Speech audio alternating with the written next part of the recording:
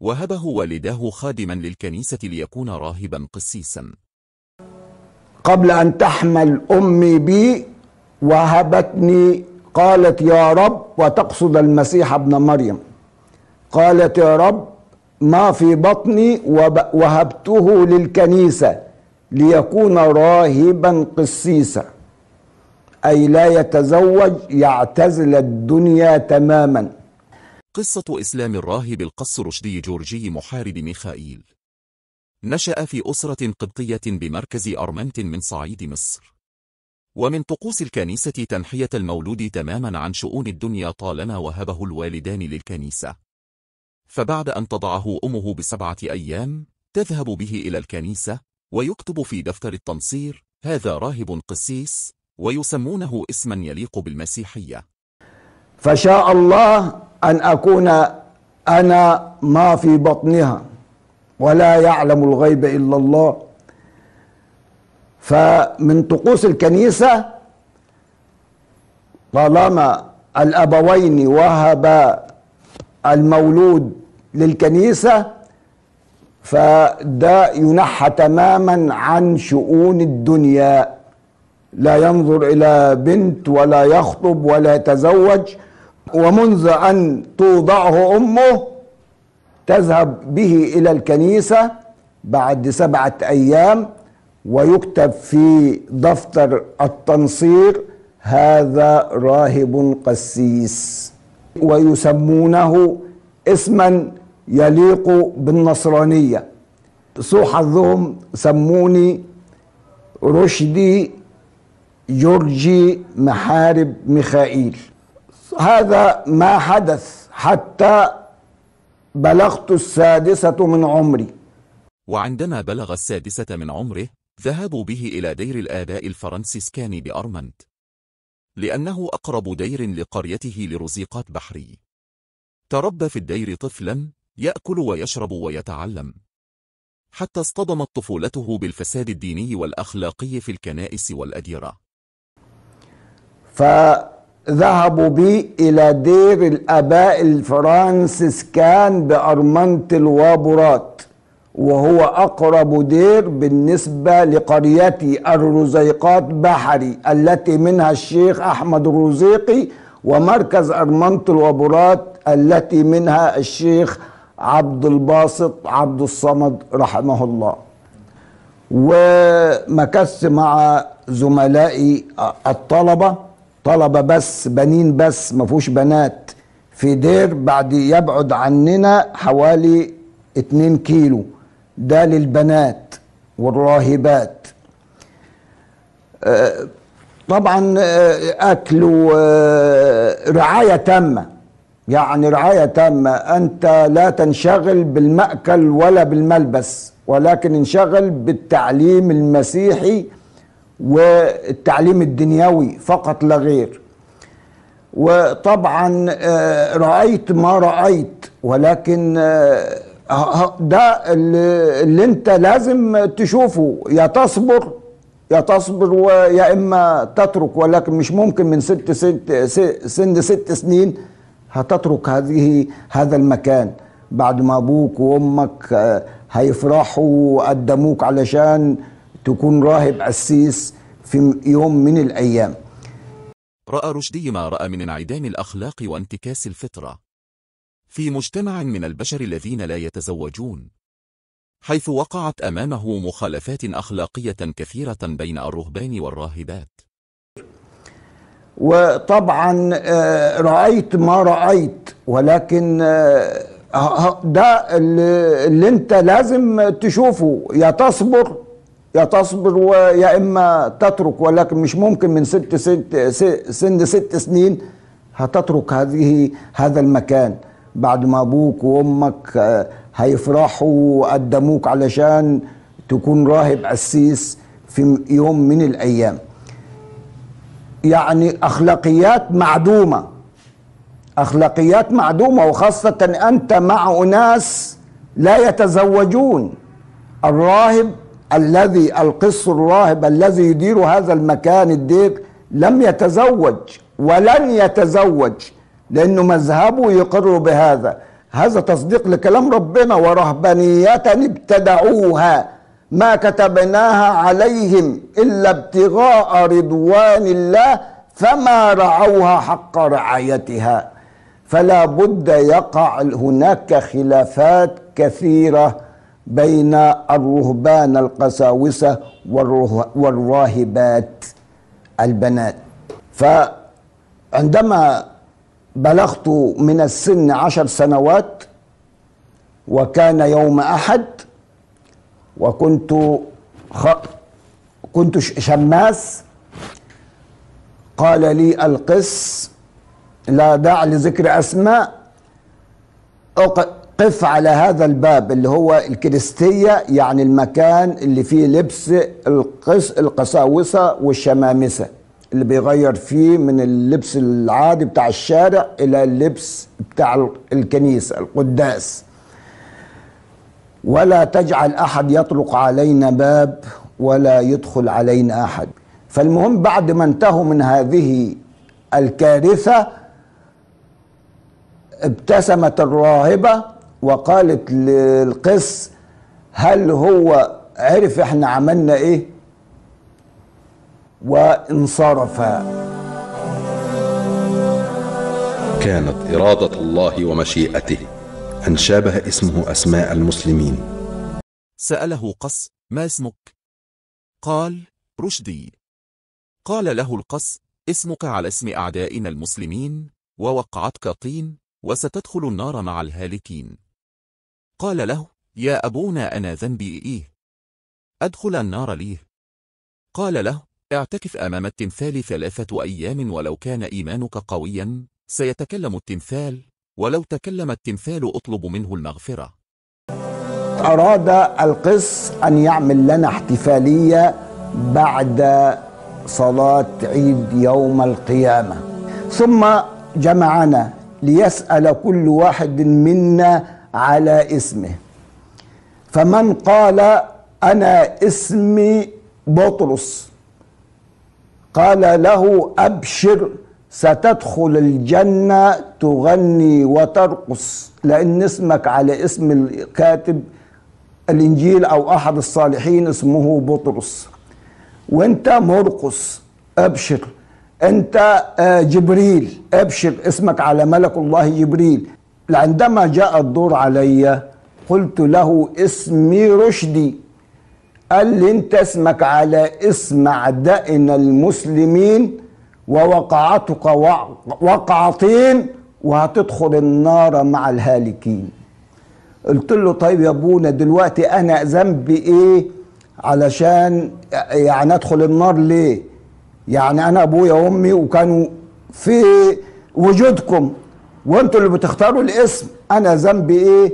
إن أنا أدخل النار. طب إيه الحل يا أبونا؟ قال لي القس انت ترى هذا التمثال صنم ده صنم تمثال يسوع المسيح. قلت له نعم يا أبونا. قال لي لو إيمانك بقى صح هتروح تعتكف قدام التمثال ده ثلاث أيام. وكلمه وترجاه واستعطفه بأي شكل من الأشكال ولو إيمانك قوي هتخليه يتكلم ولو اتكلم اطلب منه إنه يغفر لك ويسامحك و يعني يتوصل إلى أبيه في السماء علشان يدخلك الجنة. زي زمايلك. فأنا طبعا ما كذبتش خبر نويت الاعتكاف.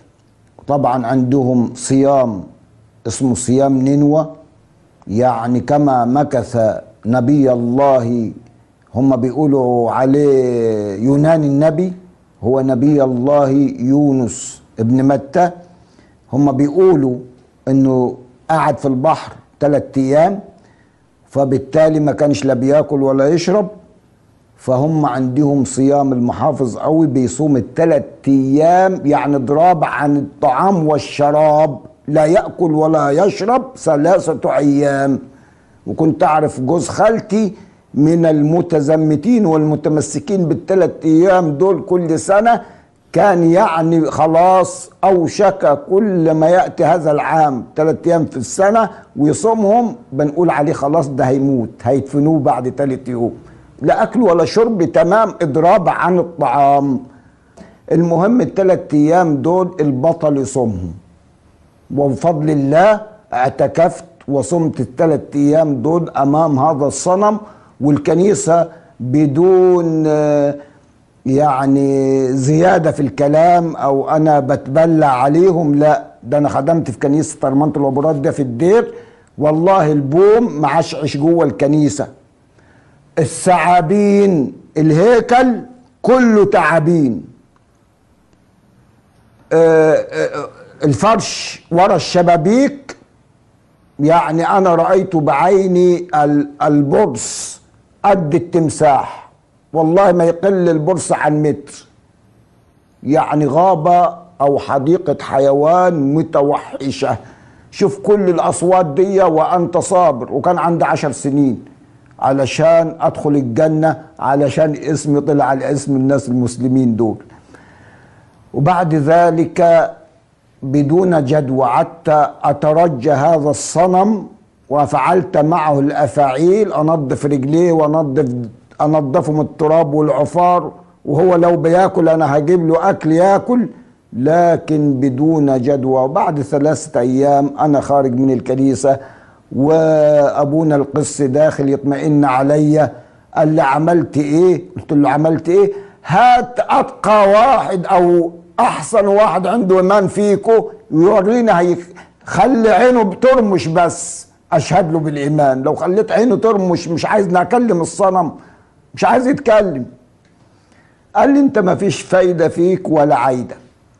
وبعد كده راح تمر الأيام عملنا طقوس ال- العيد الكبير عيد القيامة. طبعا بيبدأ من حد الزعف اللي هو بيشوف كام نخلة بيفسدوها في هذا اليوم. بيقطعوا قلب النخلة. وياخدوا كل ما كان الخ... ال- الخوص بتاعها أبيض كل ما يتباع بأغلى. يوم الثلاث ممنوع المصاحفة بالأيدي. أنا أصافحك أسلم عليك ببقي بالفم. إنما أسلم عليك باليد يبقى أنا سلمت المسيح لليهود. بعد كده يوم الأربع اللي هم بيسموه أربعة أيوب. اللي بيزعموا فيه انه في اليوم ده برئ نبي الله أيوب من مرضه. كله لازم يستحمى بالمية الحلوة في اليوم ده سواء في البحر أو ياخد مية حلوة من البحر ويروح في بيتهم لازم يستحمى في اليوم دوت. في خميس العهد أو بيسموه العشاء السري. ده بيبدأ منه القسيس بيجيب ل 12 رسول تلميذ وبيغسل رجليهم وبيقبل الرجل ظهر الرجل اليمنى ويقول لهم هكذا فعل الرب مع تلاميذه. ويمكن سمعتم في هذه الأيام هذا المشهد من بابا الفاتيكان. لكن في الحقيقة العشاء السري بيقولوا فيه تلاقي رسم 12 واحد ومنهم واحد رافع إيده. لأنه المسيح بيقول لهم الذي سيخونني سيرفع أصبعه. فده عشان تعرفوه. طبعا ده كلام مش منطقي. ده لو كان واحد معلم وعرف إنه في ناس بيخططوا له علشان يقضوا عليه أمال ال- ال- ال- المريدين بتوعه أو ال- الحاشية بتوعه البلطجية اللي حواليه إزاي يعرفوا المجرم ده واحد جاي يقتل المعلم بتاعهم وما يدافعوش عنه؟ فازاي المسيح عارف انه آه، تلاميذه عارفين انه فلان هيسلموا لليهود ومع ذلك ما قبضوش عليه ولا عملوا فيه أي حاجة؟ ثانيا لو جبت المنظر ده الصورة وهو العشاء الموح... ال- الخروف اللي ذبحوه بياكلوه لا ده لو حطيت هذا المنظر أمام قول الله تعالى وإذ إذ قال الحواريون يا عيسى ابن مريم هل يستطيع ربك أن ينزل علينا مائدة من السماء؟ قال اتقوا الله إن كنتم مؤمنين. قالوا نريد أن نأكل منها وتطمئن قلوبنا ونعلم أن قد صدقتنا ونكون عليها من الشاهدين. لو جبت الآيات دي على هذه الصورة ستجدها هي سورة المائدة. ولكن مع التحريف والتبديل عملوا لها قصة تانية. نأتي اليوم الجمعة اليتيمة. فهم بيسموها الجمعة اليتيمة أو الجمعة العظيمة لأنه فيها سيقبض على الإله ويصلب ويموت ويقبر ثم يموت من الموت. كما يزعمون. في هذا اليوم يصنعون مقبرة في الكنيسة وبيأتوا بتمثال مصنوع من الخشب. فلولا ما أنا يعني كنت بشارك في فك هذا الصنم مش ممكن أقول ده خشب لأنه أبدع الشيطان ابتداعا عظيما. يعني العروق ونفس الجلد ونفس نفس لون الجلد والبشرة مش ممكن تقول عليه ده خشب بأي حال من الاحوال ده تقول فعلا واحد محنط ومصلوب. بعد كده ياخدوه وطبعا بيصوتوا وحزنانين طبعا علشان الإله بتاعهم ميت. وبعدين الطقوس الم... ال... ال... ال... التي يفعلونها في هذا اليوم محرم يحرمون على أنفسهم كل الطعام إلا الطعامية والترمس والنابت. واللي متمسك قوي لا يشرب ماء في هذا اليوم يوم الجمعة. أمال زوره يبلع يبلع بإيه؟ يبلع بالخل. الخل لا يشرب إلا خلا لأنهم يعتقدون إن المسيح على الصليب لما طلب ماء قدموا له خل عشان يعذبوه. بعد كده بعد الجنازة دي يفكوا الإله المصلوب ومع إنه في التوراة ملعون من علق على خشبة. ولو بات الصليب بات معلق على الأرض تلعن الأرض من تحت الصليب. وهم يعني لما تقول لهم إزاي بتعبدوا ملعون؟ يقول لك إزاي ما نعبدهوش وما نحبوش ليه وهو اتلعن علشاننا ما نحبش ليه واحد اتلعن علشاننا فالمهم فبعد ذلك يأتوا إلى سبت النور.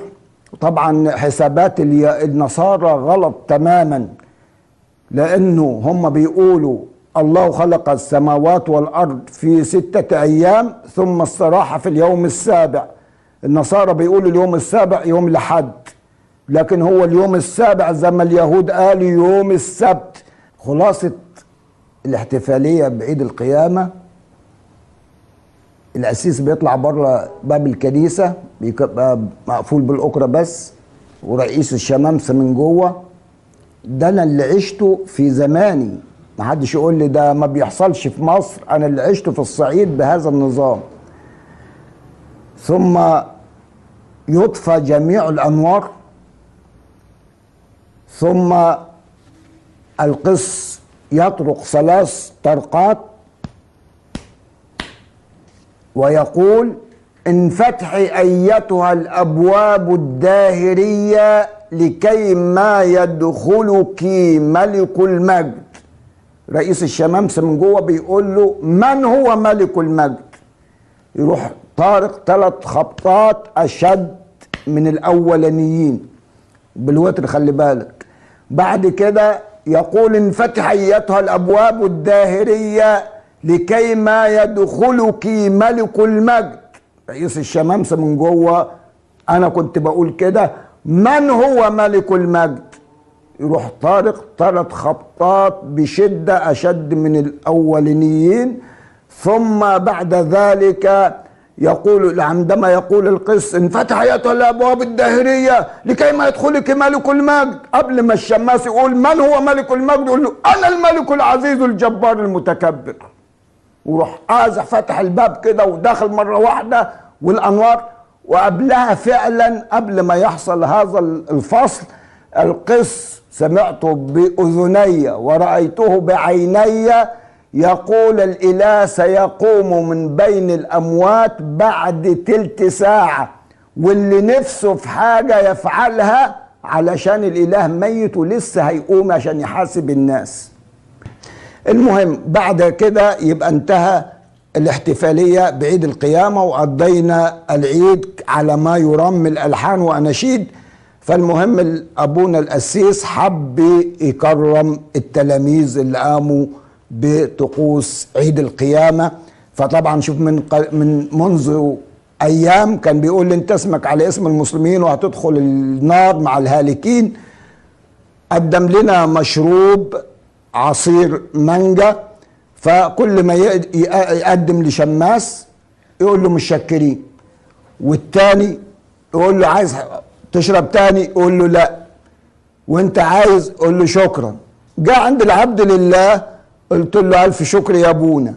قال لي لا أنت أخلاقك عشرة على عشرة ولازم أوديك اسيوط علشان تروح كلية قلب يسوع الصاروفية علشان تبقى لنا قسيس محترم من هناك.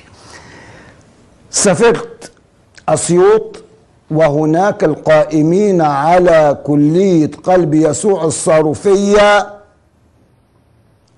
بخيت وفرطناطه وأرضه باللغة الإيطالية بخيت وعالي إيطاليين وي- ويشتهرون بفعل اللواط. مكثت أربع سنين بالعافية. ثم بعد ذلك آه، رجعت تاني والتحقت بالأرثوذكس الأرثوذكس في الشهادة قبلونا علشان شهادة الميلاد مكتوب فيها أرثوذكسي قالوا لهم أمال أنت المدة دي كلها عشتها إزاي؟ قلت لهم علشان أنتوا مش عايزين تتحركوا متجوزين ومعاكوا ولادكم لكن المذهب الفاتيكان الكاثوليك ناس رهبان ولا ولد ولا زوجة مت- مكان ما يرموه في الجبال يعيش. فدول أنا عشت ولقيتهم هم اللي فوق دماغي وهم اللي معايا وهم اللي بيعلموني المسيحية. أين أنتم؟ فكتبوا فيها تقرير انه هذا لا يصلح أن يكون قسيسا. بعد ذلك تركت الكنيسة وذهبت متطوعا للقوات المسلحة. وشاءت الاقدار إني قبلت في الجيش وكنت الأصل إن أنا مقدم علشان أكون في آه، الموسيقى العسكرية. ولكن إن شاء الله لا أكون آه، تبع المهندسين سائق بالقوات المسلحة. في عام 71 حتى عام 77 ولكن كنت مشهور بالصدق الحمد لله والأمانة. فدي كانت صفة من صفاتي وياما المسلمين كانوا بيقولوا إحنا يتمنى إنك أنت تكون مسلم. راجل بتحب الصدق والأمانة والكلام دوت. ولكن الله سبحانه وتعالى بعد ذلك وكنت أتحدى المسلمين صمت رمضان ثلاث سنوات. قعدت من 73 لغاية 77 وأنا أسمع من هنا وهناك وكنت اعتكفت على إذاعة القرآن الكريم ثمانية أشهر. بالضبط مش سنة ثمان شهور. كانت بتبدأ من الفجر وتنتهي في منتصف الليل. كنت أسمع للقرآن و بعد رحلة بحث عن حقيقة الإسلام دامت سنوات صام خلالها رشدي جورجي شهر رمضان ثلاثة سنوات. واعتكف على إذاعة القرآن الكريم ثمانية أشهر يستمع إلى القرآن والأحاديث والفتاوى. ثم سأل نفسه إلى متى ستظل على حالك في الكنيسة تسأل المغفرة من بشر مثلك وكيف يغفر لك؟ ومن يغفر له؟ كيف تقدس خشبة الصليب وتعبدها من دون الله؟ ساعة تجلي وساعة رضا من الله ابتديت أفكر طب وآخرة الفساد ده إيه؟ طب وأنت في الكنيسة بتروح تقول للقسيس اغفر لي يا أبتي. طب ما هو ده بشر زيه زيك. يغفر لك إزاي؟ هو مين بيغفر له؟ وبعدين الصليب اللي أنا بقول عليه خشبة العار في الكنيسة. إزاي أقدسه واعبدوا من دون الله؟ وإزاي المسيح ابن مريم بنقول يا قديسة مريم يا والدة الله؟ أمال هي من اللي خلقها؟ عشان تولدنا هذا الإله. طبعا طالما أنت فكرت بعقلك يبقى أعرف تمام إنك هتوصل لنتيجة للإسلام. لأنه عندهم إن أردت أن تكون نصرانيا وقرأت في الإنجيل أو ألقي إليك كلام من القس فلا تمرر هذا الكلام على عقلك. فامرره على قلبك مباشرة. وإلا ضيعت الدين. يعني هتفكر بعقلك واحد واحد يساوي اتنين واحد وزائد واحد زائد واحد يساوي واحد ولا يساوي ثلاثة ابتديت تفكر يبقى أنت أول درجة دي فعلا ست... ستكره النصرانية. لأنه في النصرانية لا تعترض فتنطرد فابتديت أفكر كل هذه الملابسات وكل هذا الفساد اللي أنا شفته جوه الكنيسة ده جعلني إن أنا أفكر. طب وآخرتها؟ يعني آخرة الفساد ده إيه؟ ولو مت هتعمل إيه؟ ما أنت لو ما تبرأتش منهم دلوقتي هتتبرأ منهم في الآخرة غصب عنك. يبقى لازمتها إيه؟ لازم أنا أقرأ وأسمع وأشوف فعلا الحق فين وأنتسب له ولا أخشى لومة لائم بعد ذلك. فخط المشوار الحمد إيه شوف الهدى هدى الله. ومن يرد الله أن يهديه يشرح صدره للإسلام. فأنا منذ أن قرأت سورة الرحمن بالذات ليه؟ لأنه قلت ما فيش ما ما سمعناش على إنه اتنين بيتخانقوا على واحد ده يقول أنا خلقت ده وده يقول أنا خلقت ده. الرحمن علم القرآن خلق الإنسان. هات لحد بتتحدى يقول لك أنا خلقت فلان. قال له القرآن ده مؤلفه محمد. طب فين عنوانه؟ فين اسمه؟ فين شهرته؟ فين اللي هو بينتسب؟ يقول الكلام ده وينتسب لنفسه. واحد بيصنع سيارة بيكتبها باسمه بيروح يسجلها مش عارف فين عشان ما حدش يسرقها أو يسرق الماركة بتاعتها. طب فين؟ فين اسم النبي محمد ده؟ كما قال نبي الله عيسى إني ذاهب إلى أبي وأبيكم لأرسل لكم الروح المعزي الذي يمكث فيكم إلى الأبد والذي لا يتكلم كلمة من عنده. بل كل كلمة من عند الله. ده هو وما ينطق عن الهوى إن هو إلا وحي يوحى. فسورة الرحمن هي كانت البداية و انشرح صدري حقا وعلمت بأن القرآن ليس مؤلف ولكنه قلت اللهم إني آمنت بك وبرسولك محمد صلى الله عليه وسلم وبكل آية أنزلت عليه في القرآن الكريم. من غير ما أقرأ القرآن إلا سورة الرحمن ولكن قلت كل كلمة موجودة في القرآن تبقى حق وتبقى من عند الله سبحانه وتعالى. هؤلاء الناس الذين تخلفوا عن نبي الله عيسى.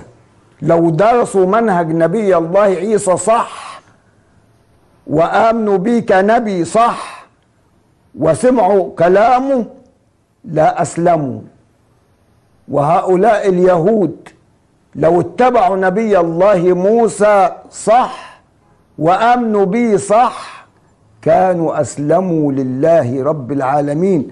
أنا أبيت إلا أن أكون موحدا لله عز وجل وكنت فعلا بسمع بعد ذلك أنا في الجيش ولسه في بداية الأمر ولسه ما عملتش الإشهار.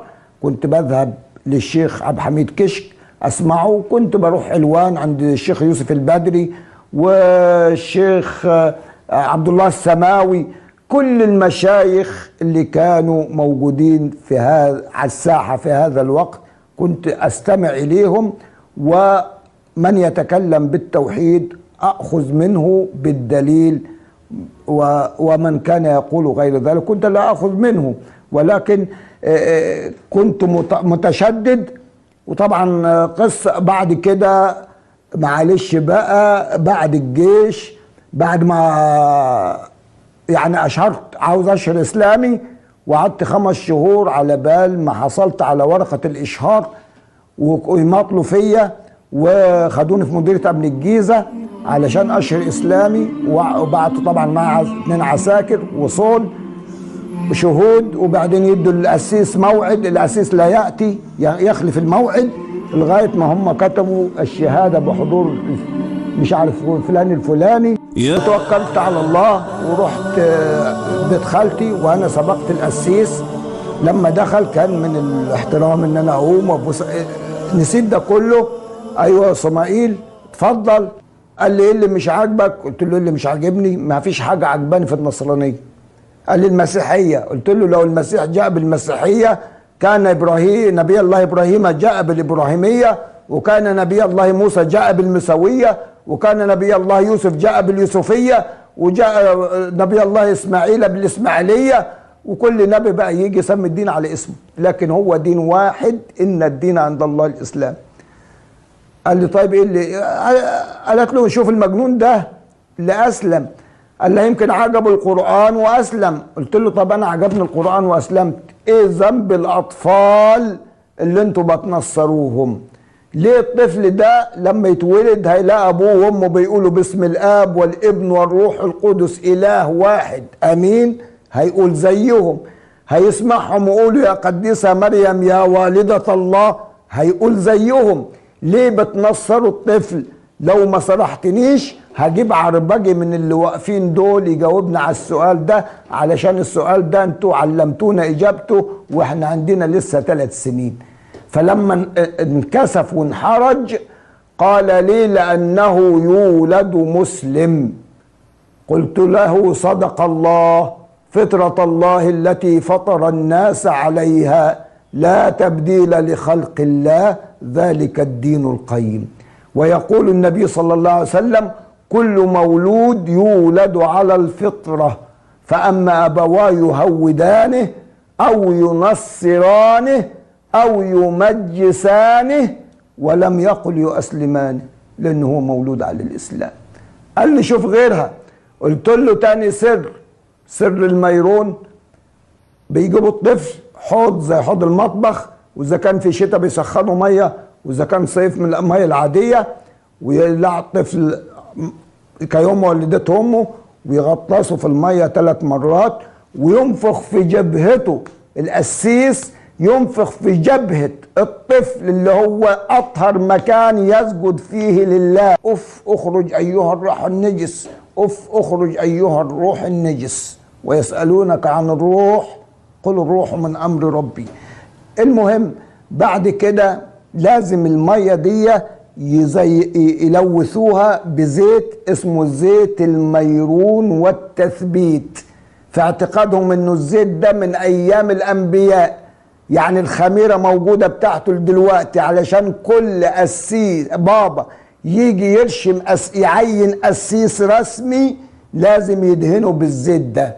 ولما ينصروا الطفل برضه يحطوا من الزيت ده علشان يصبغوه بالصبغة النصرانية. ربنا بيقول صبغة الله ومن أحسن من الله صبغة ونحن له عابدون. فهم بيزيتوا. قلت له يا أبونا لو المية في الإسلام تغير لونها أو ريحتها أو طعمها ما تنفعش للطهارة يا أبونا. فإزاي المية تتلوث وتبقى مزيتة وتقول لي دي مية زيت الميرون والتثبيت. طب وأنا ما ثبتتنيش ليه على النصرانية يا ابونا؟ طبعا قعد يمزح ويقول له إحنا هنسيبك. لما تموت لازم نجيبك نسرقك ونحرقك وناخد الزيت بتاعنا. طيب بعد كده يا ابونا في كرسي الاعتراف. بعد ما أنا اتنصرت واتدهنت بزيت الميرون والتثبيت دوت بعد كده كبرت بند عندي ثلاث سنين بتعلموني إزاي اعترف بذنوبي للقسيس. انت مين؟ انت حضرتك عشان تغفر الذنوب. والمسيح لما اراد قال لواحد طبعا ما قالهوش. ده افتراء في الجزء المحرف. لما قال له واحد مغفورة لك خطاياك اليهود جدوا عليه وقالوا له أنت متجدف ولو كنت من عند الله ما غفرت ما لا تستطيع أن تغفر الذنوب. لا يغفر الذنوب إلا الله. ده مكتوب في الأناجيل الكلام دوت. فإزاي أنت يا أبونا آه، آه، آه، الطفل من سن ثلاث سنين تعودوه إنه يركع تحت رجليك وتكون أنت قاعد على كرسي والطفل أو الراجل أو الواحده قاعدة تحت رجليك كجلسة التشهد في المسلمين جلسة العبد لسيده وتقول لك اغفر لي يا أبتي لاني أخطأت وأنت تقول لها قول يا ابني أو قول يا ستي ماذا فعلتي أو فعلت وبعد كده تتناول سر التناول يعني تاكل جسد الرب وتشرب دمه. قلت له يا أبونا صمائيل إمتى أنا إمتى أنت تتمنى تاكل لحم واحد وتشرب دمه؟ لما أجي أقول لك أبو صميل ده واحد بيقول على أبوه أمك كذا كذا كذا كذا مشاه بطال وي وي. هتقول لي مين ابن ستين في سبعين؟ اللي بيقول على أمي أو أختي كده لو شفته آكل من لحمه وأشرب من دمه يبقى ده نتيجة غيظ وغل. وأنتوا المسيح مش بين ايديكم دلوقتي علشان تتملكوه وتاكلوه. فهو مش بين إيديكم فأنتوا بتمثلوا القربانه دي بجسده. بالدم بالنبيذ دوت دمه وبتشربوه عشان تنتقموا منه والشعب مش فاهم الحقيقة يا أبونا. قال لي شوف غيرها. قلت له بعد كده مسحة المرضى نفس الزيت الميرون والتثبيت دوت لو واحد عي مرض مرض الموت على الفراش بتروح تتش- تتشمه بالزيت دوت في قرطه وفي دقنه وعلى صدره وفي بين إيديه وتقول له قول يا قديسة مريم يا والدة الله صل لأجلنا نحن الخطاة الآن وفي ساعة ما بدل ما تلقنوا التوحيد وتقول له كما قال نبي الله موسى في التوراة لبني إسرائيل بمن تشبهونني وتسوونني وتمثلونني لنتشابه. وزي ما قال اللوقا على لسان المسيح ابن مريم هذه الحياة الأبدية أن يعرفوك أنت الإله الحقيقي وحدك. ويسوع المسيح الذي أرسلته تروح أنت في المعمودية تقول له أعمدك باسم الآب والابن والروح القدس. ربنا بيقول له أنا هو الرب إلهك في الوصايا العشر. أنا هو الرب إلهك لا يكن لك إله غيري. وذكر الربوبية مرة واحدة. ولئن سألتهم من خلق السماوات والأرض ليقولون الله. وذكر الألوهية مرتين. أنا هو الرب إلهك لا يكن لك إله غيري. الإله بمعنى المشرع أي لا تسمع ولا تطيع غيري. فعندما سمع النصارى هذا الحوار وقلت لهم يوم يفر المرء من أخيه وأمه وأبيه وصاحبته وبنيه لكل امرئ منهم يومئذ شأن يغنيه. قالوا إن كان هذا القر... الآيات من القرآن فالقرآن حق. طب أسلموا. قالوا لا إحنا كفر وحنموت كفر. فبعد كده ما كان من الناس إلا أن قالوا اخرجوا لنا الشيخ بتاعنا كفاية كده.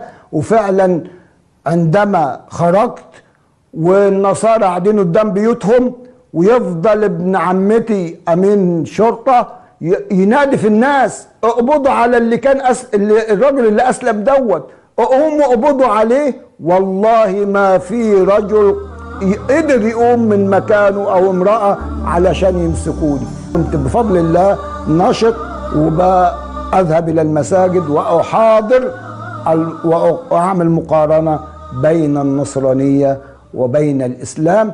ألفت كتاب قعدت عشر سنين أكتب فيه وسميته باسم وظيفتي في النصرانية اعترافات شماس لتصحيح مفاهيم الناس. إنما اللي أسلم اثنين أو ثلاثة أسلموا بفضل الله سبحانه وتعالى لما سمعوا شرا كنت عامل 20 شريط واللي بيسمعهم وربنا يريد له الهدى يهتدي. إنما هدى إنك لا تهدي من أحببت ولكن الله يهدي من يشاء وهو أعلم بالمهتدين. وطبعا كرست حياتي لخدمة المساجد. خدمت في مسجد أنصار السنة عندنا في عين شمس. في شارع شارع الأربعين مسجد توحيد طبعا جمعية أنصار السنة. وأخيرا أقول للناس اللي بيتشككوا في الإسلام ائتوني بقسيس أعمى. هل رأيتم قسيس أعمى؟ طب ليه يا فضيلة الشيخ ما يبقاش أعمى؟ لأنه في جزء معين لازم يقراه كل يوم حد. وده دليل بأنه التوراة والإنجيل عشان اتحرفت وربنا مع لم يأخذ على نفسه عهدا ولا ميثاق بحفظهما فلا بد أن يتحر... يحرف. ولكن القرآن عشان ربنا وعد حفظه تلاقي ثلاث سنين حفظ القرآن معوق حفظ القرآن ست سنين حفظ القرآن أعمى حفظ القرآن مشلول حفظ القرآن. لكن ائتوني برجل يحفظ من درجة الأسيس إلى البابوية يحفظ التوراة والأناجيل التي بين أيديهم لأنها لا تحفظ فلا بد أن يكون القسيس مبصر ما ينفعش قسيس أعمى لأن المقرر بتاع كل يوم حد وده بيقراه كل يوم حد ومع ذلك لم يحفظه. وما يزيدش عن 15 20 ورقة. اللي بيصلي بيهم كل يوم حد وكل العمر ده كله ما يقدرش يحفظهم لأنه ما يتحفظش. لأنه ربنا ما توعدش حفظه. لكن ما تلاقي الشيخ كشكة نعمة والعمي إذا أراد الله بهم خيرا بيكونوا أحسن كتير من المبصرين إنها لا تعمى الأبصار ولكن تعمى القلوب التي في الصدور. كنت أقول لو أني سجدت لله على مصامير ما وفيت الله سبحانه وتعالى نعمة الإسلام وهدايتي إلى الإسلام والحمد لله الذي هدانا لهذا وما كنا لنهتدي لولا أن هدانا الله والحمد لله رب العالمين. اعتنق الإسلام وآمن بالقرآن. يقول رشدي سورة الرحمن كانت البداية. علمت أن القرآن ليس مؤلف وقلت اللهم آمنت بك وبرسولك محمد صلى الله عليه وسلم. وبكل آية أنزلت عليه في القرآن الكريم. يقول طالما فكرت بعقلك فأعلم أن النتيجة هي الإسلام. أبيت إلا أن أكون موحدا لله عز وجل. بعد إسلامه جلس معه القص صموئيل ليرده عن الإسلام فقال له إيه لي مش عاجبك؟ قال له رشدي ما فيش حجه عجباني في النصرانية. قال القص صموئيل اسمها المسيحية. قال رشدي اسمها النصرانية لو المسيح جاء بالمسيحية كان نبي الله إبراهيم جاء بالإبراهيمية وكان نبي الله موسى جاء بالموسية وكان نبي الله يوسف جاء باليوسفي وكان نبي الله إسماعيل جاء بالإسماعيلية وكان كل نبي سمت الدين على اسمه. الدين واحد إن الدين عند الله الإسلام وأنا أسلمت وصدقت القرآن. أما أنتم فستتحملون ذنب الأطفال الذين تنصرونهم قال للنصارى والقساوسة ائتوني بقسيس أعمى هل يوجد قسيس أعمى؟ لا يوجد. لأنها كتب لا تحفظ ولا بد أن يكون القسيس مبصرا حتى يقرأ. لأن التوراة محرفة والإنجيل محرف ولم يتعهد الله بحفظهما. أما القرآن فالله حفظه لذلك يحفظه الطفل في عمر ست سنوات أو أقل ويحفظه الأعمى ويحفظه الأعرج.